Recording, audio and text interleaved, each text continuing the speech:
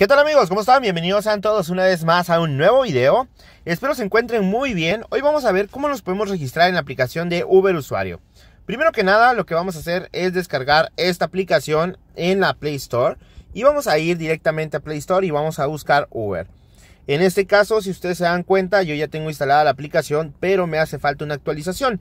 Vamos a actualizarla y vamos a esperar a que se actualice para poder registrarnos en la app. ¿Vale?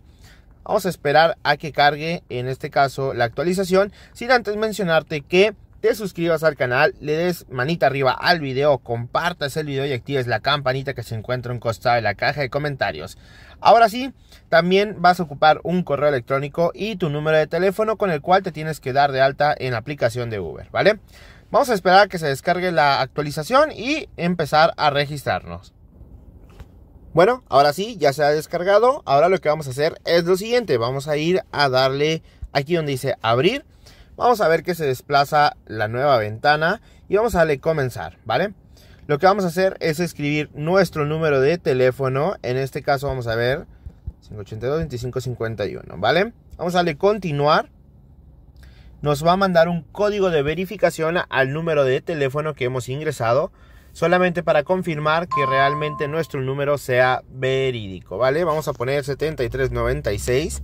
Vamos a poner tecnomundo arroba genialapps.com.mx. En este caso yo tengo un correo de dominio propio, pero todos podemos utilizar ya sea el de Gmail, el de Hotmail, el de eh, en este caso el de Yahoo, el que ustedes gusten, ¿vale? Vamos a darle siguiente. Vamos a ingresar una contraseña. Y listo, vamos a darle siguiente. Vamos a ingresar nuestro nombre. Vamos a ponerle Tecno. Y vamos a ponerle Mundo, ¿vale? Tecno Mundo. Vamos a darle siguiente. Vamos a aceptar términos y condiciones de lo que es la aplicación. Vamos a darle siguiente. Y listo. En este caso, selecciona tu método de pago preferido.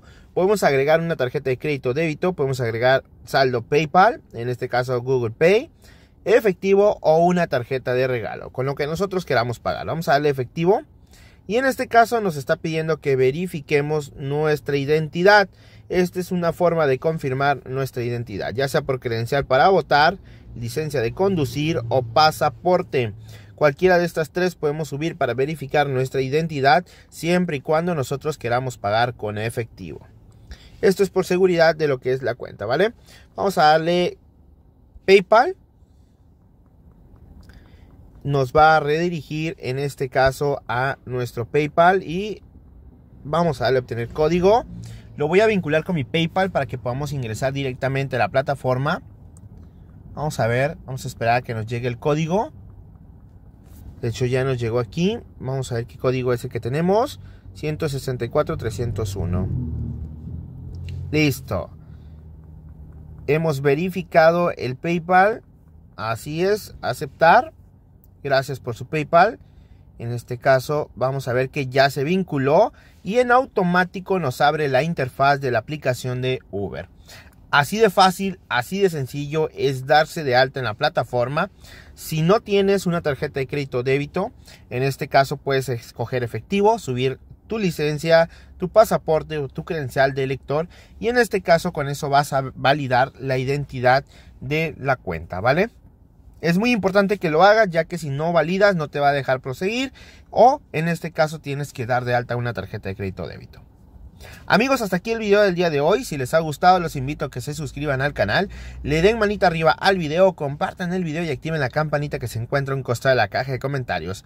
Sin más por el momento, me despido, cuídense mucho y nos vemos en el próximo video. Hasta luego.